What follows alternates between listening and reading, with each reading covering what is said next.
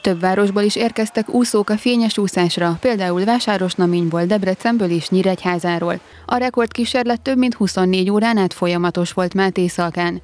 A rekordkísérletből a legkisebbek is kivették a részüket, az öt évesek még éjszaka is több kilométerhoz teljesítettek.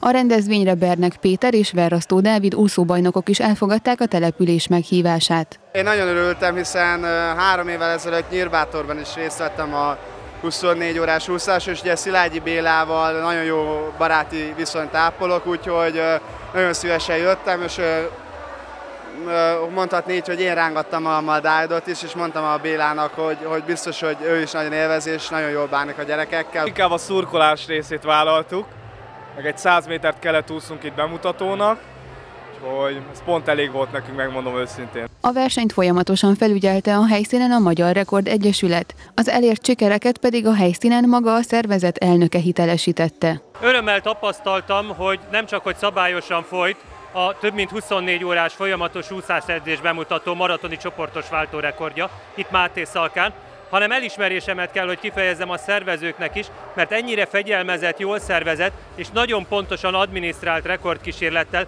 ritkán találkozunk, pedig nagyon sok helyre eljutunk munkák során az országban. A rekordkísérlet a Máté Szalkai úszószakosztály ötlete volt. Három hónapnyi szervezés után végül eredményesen zárták az első fényes úszást.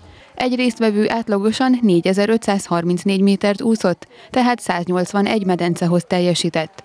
1501 perc alatt összesen 1664 kilométert úsztak a rekordkísérlet tagjai.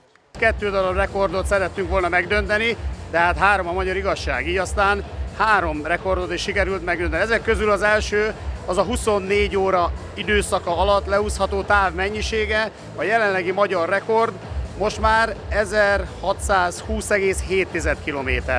A másik rekord ugye az a távot és az időt jelzi egyszerre, az a csoportos maratoni váltóúszás, amire, aminek a rekordját igyekeztünk megdönteni, ez pedig nem más volt, mint hogy 25 órán keresztül folyamatosan úsztak az úszóink, korábbi rekord 24 óra 37 perc volt.